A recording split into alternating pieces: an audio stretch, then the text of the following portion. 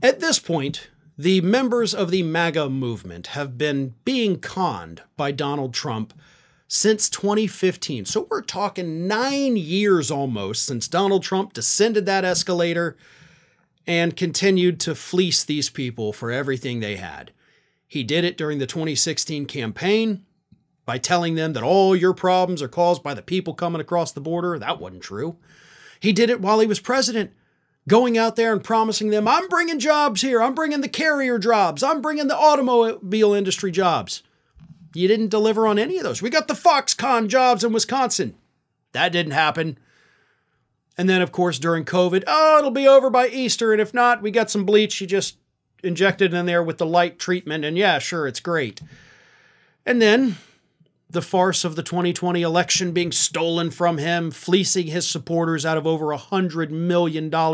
These people have been conned and conned and conned, and they still fall for it today. So, should we even feel sorry for these people at this point? Well, that brings me to my next question. This is from user Orinoco500 who asks Do we really need to try and save some people on the MAGA cult? I am tired of the news and commentators feeling sorry for them and want to pull them out, but I think they are beyond that and they're actually happy being that way.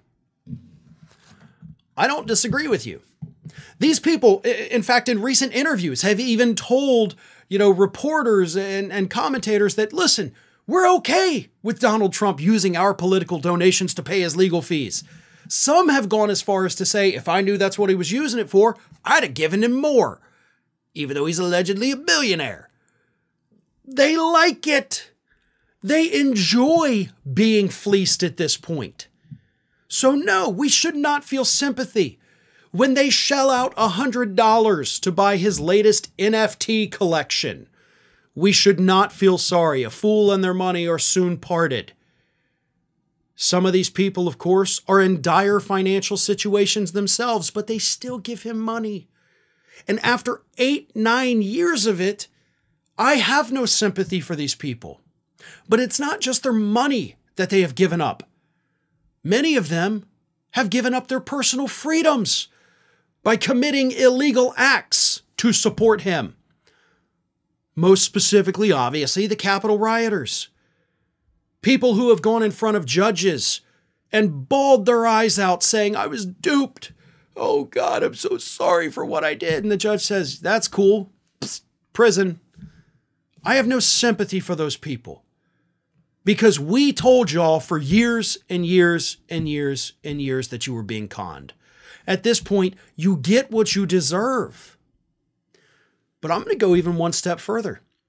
It's not just the MAGA people, it's Republican voters in general. And again, I'll take it back to Reagan. Reagan burst onto the scene and said, We got to get rid of the unions. You're paying money to these people and they're they're pocketing it and they're getting rich themselves. You know what what to do with your job. You can do it better than a union. We killed the unions in the 80s and we also killed the middle class by doing it. Reagan told us as H.W. Bush then told us, and W. Bush told us, and Trump told us later on. They all told us if we give more tax breaks to rich people, it's going to trickle down to you. They're going to give you that money. They don't want that money, they want to give it to you. Never happened. Republicans have been getting fleeced and fleeced and fleeced. Their politicians, the people they put up for office, that's what they do. They con them. They either con them with these promises that we're going to give you these great things, or they con you with the promises of, oh, we're going to fix this problem. We're going to solve immigration. No, you're not. The U.S. Chamber of Commerce wants as many people as possible coming across that southern border. They've got all the money. All the money you rely on for your campaigns comes from the people who are members of the Chamber of Commerce. You're not going to solve anything because they want that free, cheap labor and they're fleecing their supporters into thinking, we're going to close that border down on day one. No, you're not, because your donors would have you out of office with a single phone call if you tried to do that. Again, the voters get fleeced.